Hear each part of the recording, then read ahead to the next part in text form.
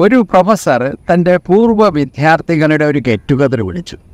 എല്ലാവരും സന്തോഷത്തോടെ വന്നു. വന്നതിന്റെ ആദ്യത്തെ നിമിഷങ്ങളിൽ കണ്ടുമുട്ടുന്നതിന്റെ സന്തോഷമായിരുന്നു. അതിനുശേഷം പതിയെ മുന്നോട്ട് പോയപ്പോൾ അവരുടെ കരിയറിലും ജോലി സ്ഥലത്തും അഭിമുഖീകരിക്കുന്ന ബുദ്ധിമുട്ടുകൾ ശമ്പള സ്കെയിലിന്റെ വ്യത്യാസങ്ങൾ ഇതൊക്കെ വന്നു കഴിഞ്ഞപ്പോൾ ആദ്യം ഉണ്ടായിരുന്ന സന്തോഷം അങ്ങനെ അപ്രത്യക്ഷ ഇത് പ്രൊഫസർ നോട്ട് ചെയ്തു. അദ്ദേഹം പെട്ടെന്ന് തന്നെ അവരോട് പറഞ്ഞു എല്ലാവരും യാത്ര ചെയ്ത് വന്നതല്ലേ? നമുക്ക് നല്ല ഒരു കാപ്പി കുടിച്ചാലോ? എല്ലാവരും സമ്മതിച്ചു. അദ്ദേഹം പെട്ടെന്ന് പോയി നല്ല കാപ്പി ഉണ്ടാക്കി ഒരു കെറ്റിലിൽ കൊണ്ടുവന്നു. കൂടെ അത് പകരാനായിട്ടുള്ള കപ്പുകൾ. പലതരം കപ്പുകൾ. മനോഹരമായിട്ട് ചിത്രപ്പണി ചെയ്ത് ഡെക്കറേറ്റ് ചെയ്ത കപ്പ് അതിന്റെ താഴെയുള്ളത് പിന്നെ സാധാരണ കപ്പ് ഏറ്റവും അവസാനം ഡിസ്പോസിബിൾ ആയിട്ടുള്ള കുറേ ഗ്ലാസ്സുകൾ.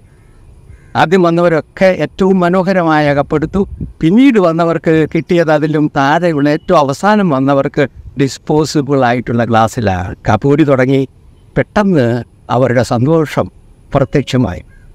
അപ്പോഴാണ് പ്രൊഫസർ പറഞ്ഞു തുടങ്ങുന്നത് തേ നമ്മളെല്ലാവരും ആഗ്രഹിച്ചത് നല്ല കാപ്പി കുടിക്കാനാണ് എല്ലാവരും കുടിക്കുന്നതും ഒരേ കാപ്പി തന്നെയാണ് പക്ഷെ എല്ലാവർക്കും ഉള്ളത് ഒരേ സന്തോഷമല്ല എന്താ അതിന്റെ കാരണം?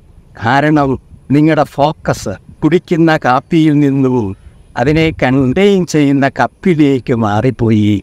എന്നിട്ട് അദ്ദേഹം പറഞ്ഞത് പ്രധാനപ്പെട്ടത് ജീവിതമാണ്. അല്ലാതെ ജീവിതത്തിന്റെ ആക്സസറിയിലേക്ക് ശ്രദ്ധ പോയാൽ സന്തോഷം നഷ്ടമാകും.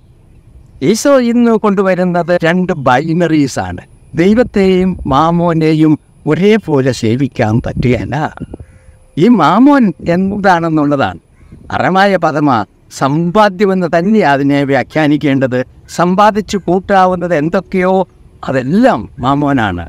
പണം മാമോനാണ് സമ്പത്ത് മാമോനാണ് നിനക്ക് കിട്ടുന്ന അധികാരം മാമോനാണ് സ്ഥാനമാനങ്ങൾ മാമോനാണ് ഒരാ നിന്റെ പ്രശസ്തി മാമോനാണ്. ചോദ്യം ആരാണ് യജമാനൻ എന്ന് പറഞ്ഞാൽ ആരാണ് നിന്റെ മനസ്സിനെ ജീവിതത്തെയും ഭരിക്കുന്നത്? ദൈവമാണോ എന്ന് പറഞ്ഞാൽ നിന്നിലെ ജീവൻ ദൈവത്തിന്റെ തന്നെ ജീവന്റെ അംശമാണ്. നിന്നിലെ ദൈവാംശമായ ജീവനാണോ നിന്നെ ഭരിക്കുന്നത്? അതോ ഈ മാമോനായ സമ്പാദ്യങ്ങളിൽ ഏതെങ്കിലും ഒന്നാണോ നിന്റെ മനസ്സിൽ ആധിപത്യം ചൊലുത്തി ഭരിക്കുന്നത് ജീവിതത്തിൽ പലപ്പോഴും സംഭവിക്കുന്നത് കുറേ നാൾ ഈ ദൈവാംശത്തിന് ഒന്നാം സ്ഥാനം കൊടുത്ത് നമ്മൾ അറിയാതെ തന്നെ ഈ സമ്പാദ്യങ്ങളിലേക്ക് സ്ലിപ്പ് ചെയ്തു അതാ ഈശോ പറയുന്നത് കണ്ണിന്റെ കാര്യത്തിൽ കൃത്യമായ ഗ്രീക്ക് മൂലം അവിഭജിതമായ കണ്ണെന്നാണ്. അൺസ്പ്ലിറ്റ് അഖിന്നമായ കണ്ണും ഖിന്നമായ വിഭജിതമായ കണ്ണും. നിന്റെ കണ്ണ് വിഭജിതമാണ് എങ്കിൽ എന്ന് പറഞ്ഞാൽ അർത്ഥം എന്താ? നിന്റെ കണ്ണ് നിന്റെ കാഴ്ചപ്പാട് നീ കൊടുക്കുന്ന പ്രാധാന്യക്രമം അത് സ്പ്ലിറ്റ് ചെയ്തതാണ് എങ്കിൽ ജീവിതം മുഴുവൻ ഇരുപ്പിലായി എന്നാൽ നിന്റെ കണ്ണ് അവിഭജിതമാണെങ്കിൽ കാഴ്ചപ്പാട് ഫോക്കസ്ഡ് ആണെങ്കിൽ ജീവനിലേക്ക് ഫോക്കസ്ഡ് ആണെങ്കിൽ എന്താ സംഭവിക്കുന്നത്? നിന്റെ ശരീരം മുഴുവൻ പ്രകാശത്തിലാകും. കുഞ്ഞുനാളിൽ നമ്മൾ ചെയ്തിരുന്ന കളിയില്ലേ?